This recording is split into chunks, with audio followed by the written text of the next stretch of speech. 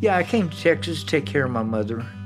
And I had a real well paying job. I used the credit cards a lot, but I was paying double and triple payments on every one of them. And I lost that job and wasn't able to replace that income and could not pay my, my debt. Well, when I got the judgment, I never got a letter to, to, to appear in court, so I didn't get a chance to defend myself. So let's say you get a letter in the mail from a local court that says you've been sued by a debt collector. What do you do? Don't panic and don't ignore it.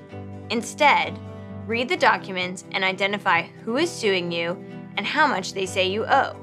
If you think it might be a scam, you can call the court where the case is filed to make sure a case has actually been filed. You must respond in writing and file your response with the court before the filing deadline. If you don't respond, you automatically lose, and the judgment might appear on your credit report. In Texas, you have 14 to 20 days to answer, depending on the court. Your answer can be a handwritten letter to the court saying you disagree with the lawsuit. Our toolkit also has a sample answer form you can use. Be sure to include the case number, your mailing address, and any reasons you should not have to pay. These reasons are called defenses. Here are some possible defenses. The amount is wrong. The account isn't mine. The debt is older than four years. I already paid the debt.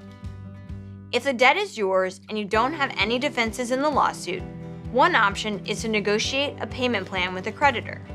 There are credit counselors available who can help. Find a credit counselor by visiting the Consumer Information section of the Federal Trade Commission's website. Remember, it is important to respond. Otherwise, you lose automatically. For more information, go to our toolkit at mydebtcollectionrightstexas.org.